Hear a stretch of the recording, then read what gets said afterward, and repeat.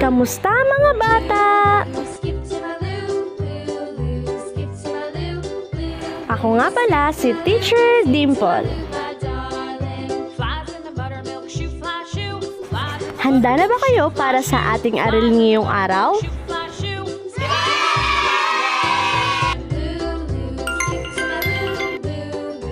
Grade 2, Aralin 2. Uri ng pangalan, ang hardin ni Mimay. Gumamela, orchideas, at santan ang ilan sa mga bulaklak na nakatanim sa hardin ni Mimay. Ito ang paborito niyang bahagi ng kanilang bahay. Simula nang mawala ang kanyang nanay, siya na ang nag-aalaga ng mga halaman dito.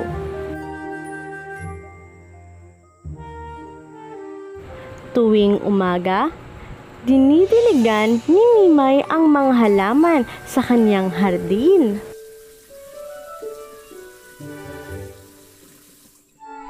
Sa hapon naman, kinakausap niya ang mga ito at ginugupitan kung kailangan.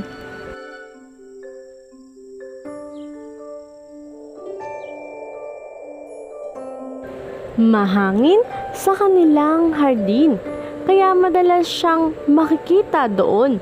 Doon siya nagbabasa, nagpipinta o minsan ay umiidlip.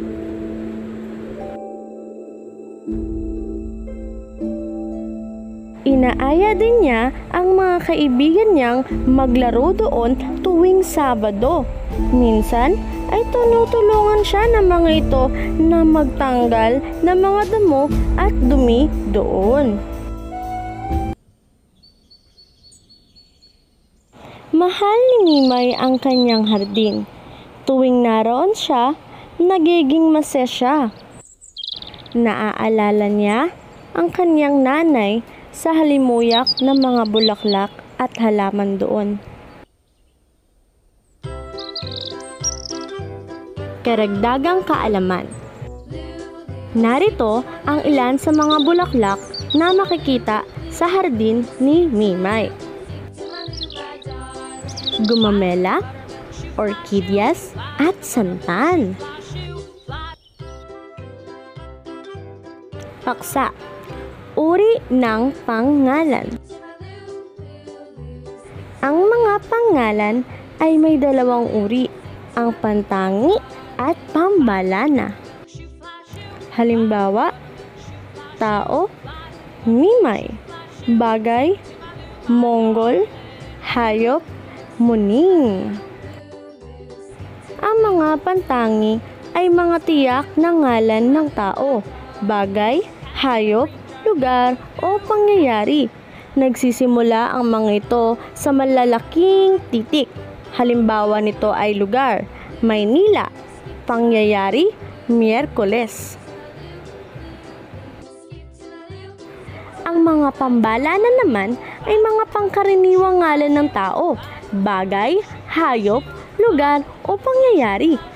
Halimbawa, tao, bata, bagay, lapis, hayop, pusa, lugar, lungsod, pangyayari, araw. Maaari nating pagtambalin ang mga pantangi at pambalana. Halimbawa, Mimay, bata, Mongol, lapis, Muning, pusa, Maynila, lungsod, Miyerkules, araw. At dito nagwawakas ang ating aralin ngayong araw. Naway marami kayong natutunan. Paalam!